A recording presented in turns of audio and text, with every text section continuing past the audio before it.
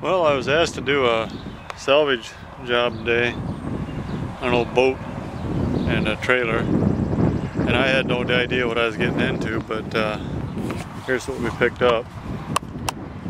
And uh, I'm not sure what this boat's worth for salvage, it's aluminum, but then it's got a lot of work to do to make it so they'll take it as aluminum. But the interesting thing is what all came on and with this deal and uh, some things that we can use. Uh, a friend of mine, actually my brother-in-law, and I have been doing some fishing and uh, we could use this anchor lock or rope lock or whatever it was he called it.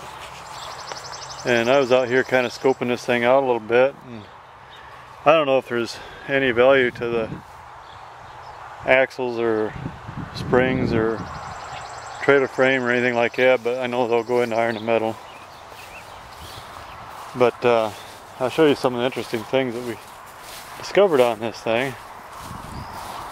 One of the things that we uh, noticed is this has got this tongue hitch, this tongue jack or whatever you want to call it, and it actually works flawlessly. It cranks up nice and wheel still swivels and pretty decent shape and everything. So I think I'll pull that off there and use that. And then I was looking out here, I was looking at this winch because I've kind of wanted a winch for the front of my trailers.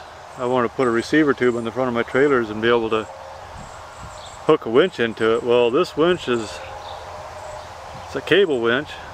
It's a crank winch, but I notice it's got three shafts coming out of here, and as I look at the gearing on there, it appears as if you can uh, set different crank speeds based on which one of these you put your handle on. If you put it on this lowest one, you actually get the uh, most strength and if you put it on this top one, I think you get the fastest crank speed.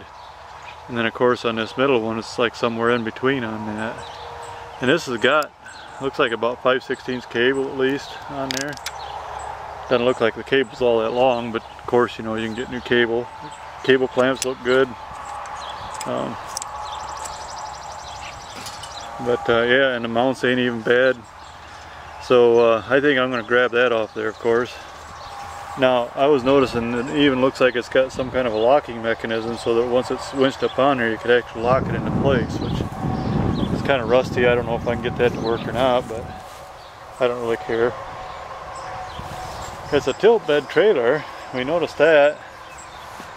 But the strange thing is, is here's your latch point, and here is your swivel point, and that's only about two foot from your latch point for this whole trailer so I'm not sure what good that does but apparently it does some.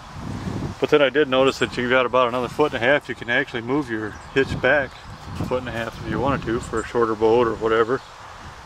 So the boat itself of course is a little bit overgrown and I'll just strip this thing down probably and try to get all the steel off of it so it's down just aluminum and see what we can get out of it but now I'll show you what else I got out of there.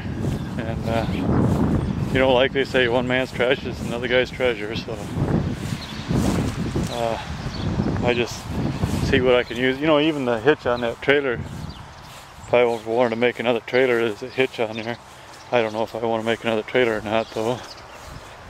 I need another project like I need hole in the head But uh, what was in the boat was a couple of anchors and these anchors you can use them right away. Nothing needs to be done with them. And uh, we could use them out in the boat we've been using to go fishing.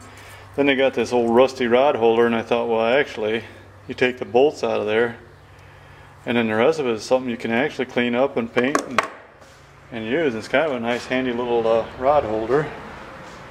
And then we got these two seats. We've been kind of wanting pedestal seats of some sort. Of course, these here made to bolt on your boat, but uh, I think I could rig them up so that they'd be clamp-on style or something.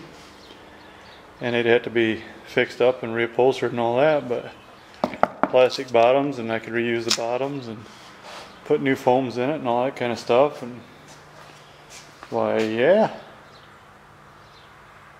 So, yeah.